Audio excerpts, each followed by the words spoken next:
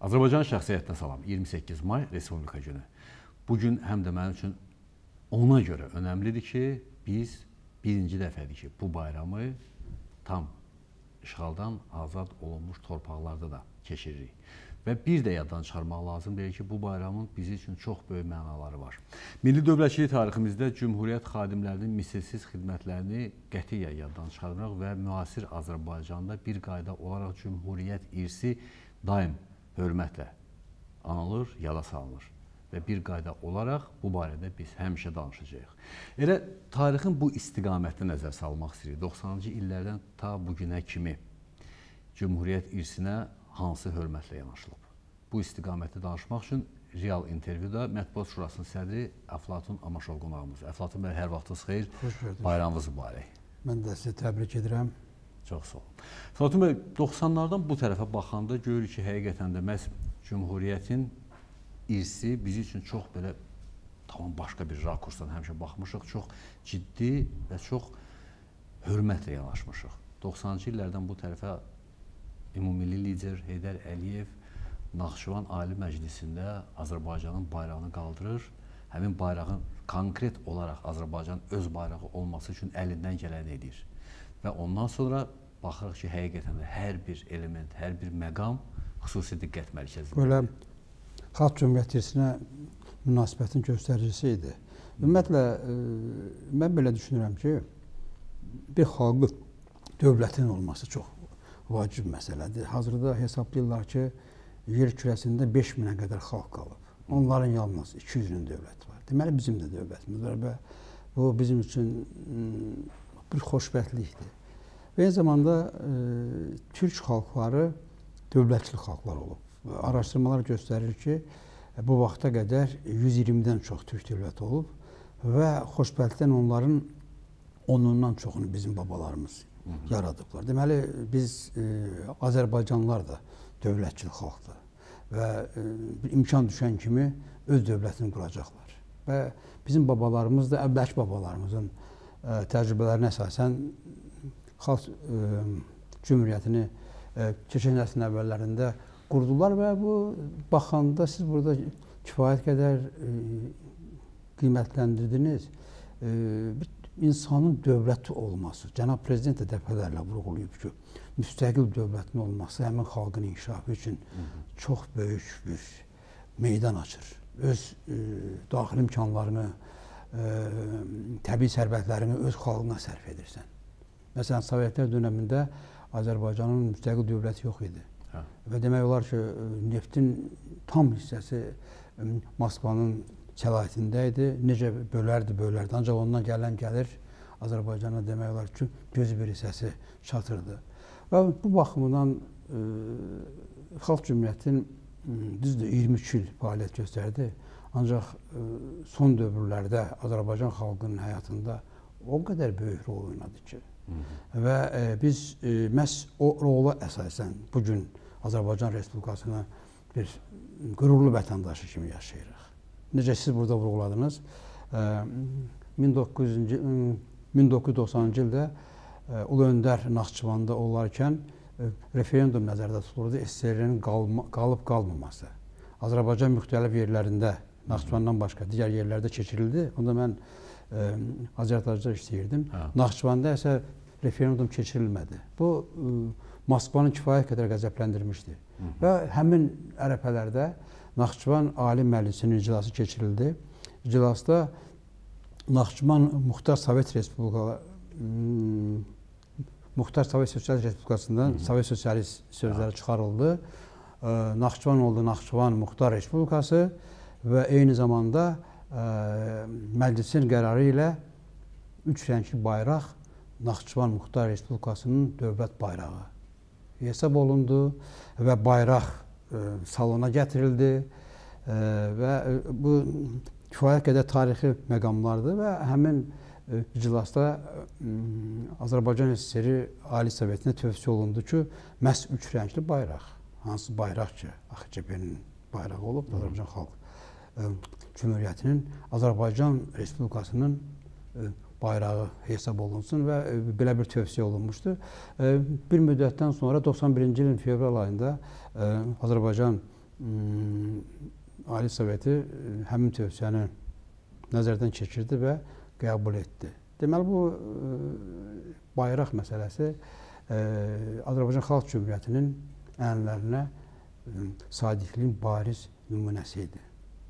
Mən ə, dediniz məs Azərtacda iş- işləmişdiniz həmin dövrlərdə. Mən mən ondan sonrakı həmin o dövrləri yadıma salıram. Mən bilirəm ki, bütün bunların hamısı eyni zamanda sizin gözünüzün qabağında baş verib. Məs həmin dövrlər. Ondan sonra 2003-cü il ə, Xalq Cümhuriyyətinə abidə ucaldılması, sonra ə, İstiqlal ə, küçəsində İstiqlal bəyannaməsinin Abidəsi ucaldılması, abidə, bəli. abidəsinin 2007-ci ucaldılması. ildə. Hə, 2007-ci. Bütün bunların hamısı faktiki onu göstərirdi ki, bizdə bir qayda olaraq cümhuriyyətə xüsusi diqqət ayrılır və bir qayda olaraq biz həqiqətən də dediyiniz o dövlətçil millət olaraq yaranmış həmin o dövlətin ənənələrini yaddan çıxarmırıq. Əksinə tarixi nöqteyi nəzərdə onları abidə kimi, küçə kimi, hansısa bir ad kimi yadmı Cümhuriyyətin 100 illiyi yadıma düşdü, il Bəli. keçirdi. Ümumiyyətlə bizim yaşadığımız respublika Azərbaycan Xalq Cümhuriyyətinin varisidir. Hmm. Və Xalq Cümhuriyyətində ərazi bütövlüyü vacib məsələ idi. Düzdür o zamanlar 114 min Kvadrat kilometr. kvadrat metrə kvadrat kilometrə qədər ölkənin ərazisi var idi.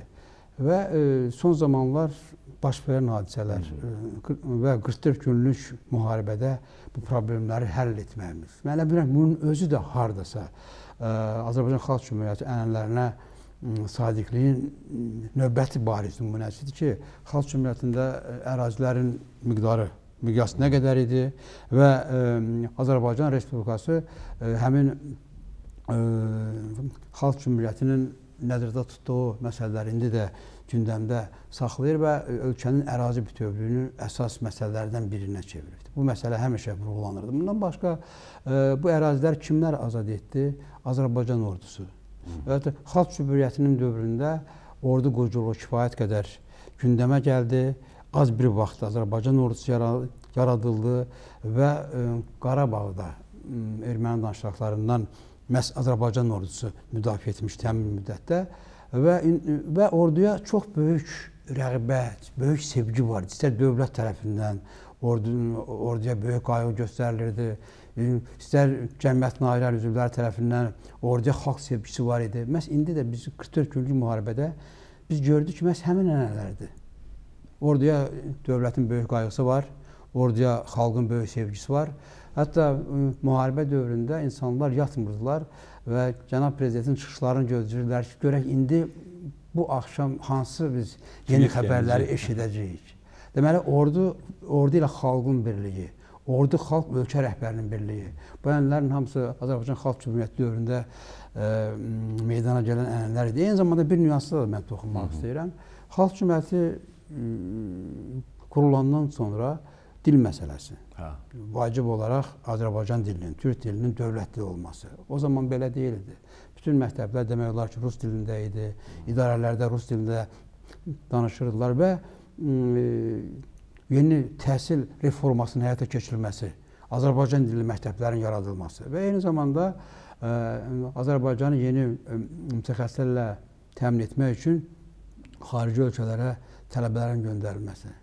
Bu barədə kifayət qədər geniş məlumat verilib. 100 tələbənin göndərilməsi, onların taleyi əksəriyyət acınacaqlı oldu. Ancaq indi siz görürsünüz ki, Azərbaycan dövləti e, m, tələbələrin xaricdə təhsil almaları üçün dövlət proqramı qəbul etmişdi. Həmin proqrama əsasən minlərlə tələbə e, dünyanın müxtəlif ali məktəblərində təhsil aldılar. Onlar ölkəyə qayıtdılar. Məhz indi bir müddətdən sonra məhz həmin insanlar Azərbaycanı idarə edəcəklər. Yeni təfəkkür, yeni e, baxış bütün hadisələrə və e, Azərbaycan da dünyanın ən güclü, ən qüvvətli ölkələrindən birinə çevriləcək. Məhz həyata keçirilən islahatlar nəticəsində.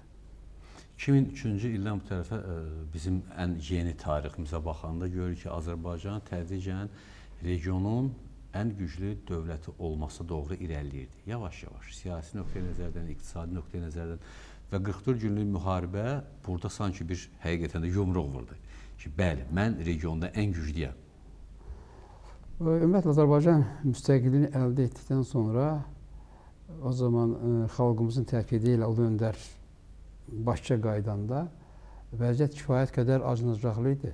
Vətəndaş müharibəsi ərəfəsində biz ə, sanki yaşayırdıq.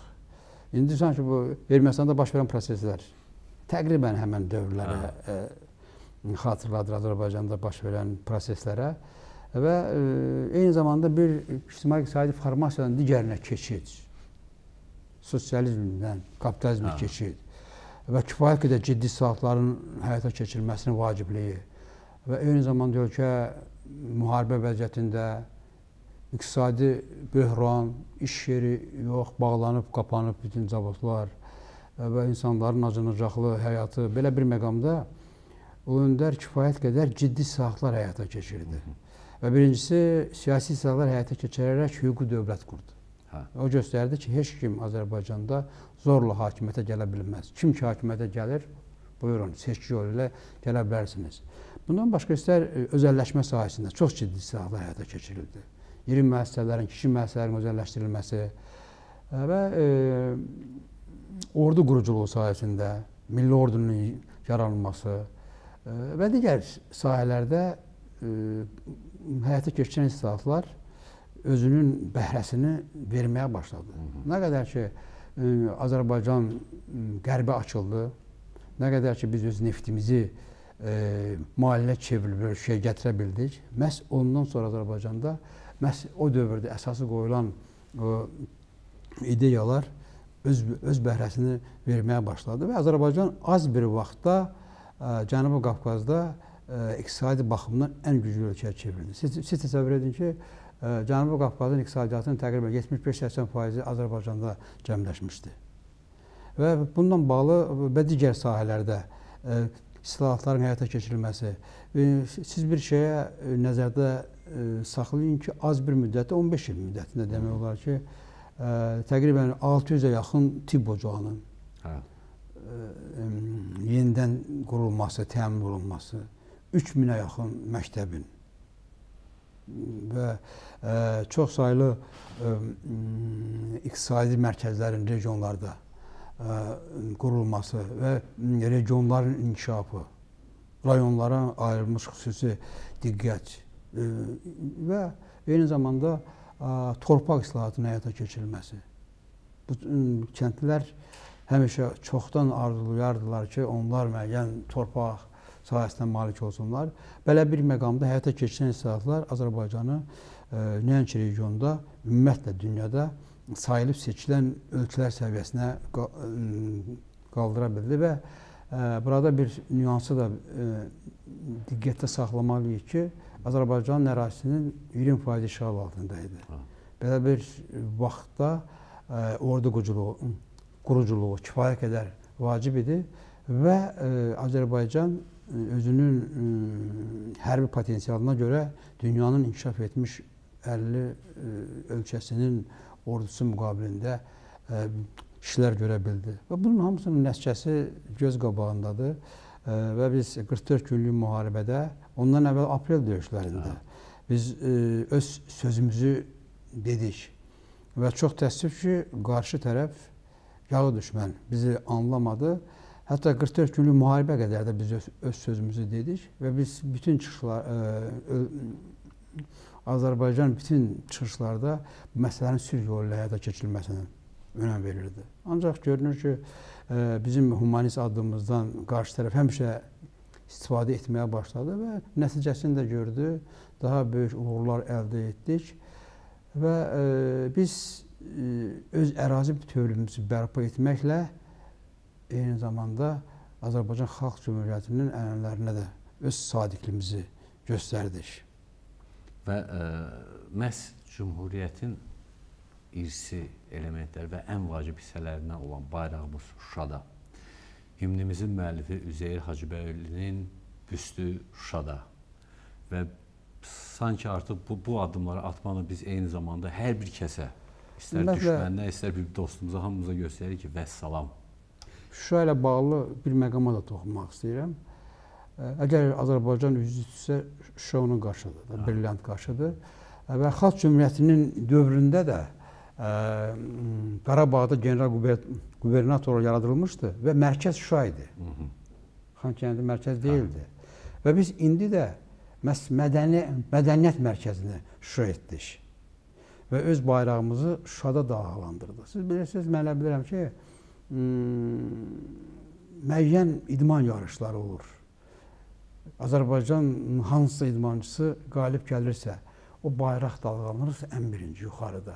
Hər bir Azərbaycanın ürəyi necə atlanırsa və bizim bayrağımızın işğaldan azad olunmuş ərazilərdə dalğalanması, cənab prezidentin həmən bayraqları yüksəltməsi, qaldırması və ələlxüsus da məhz Şuşada Azərbaycan bayrağının dalğalanması bu Azərbaycan xalqının necə böyük xalq olduğunu göstərir.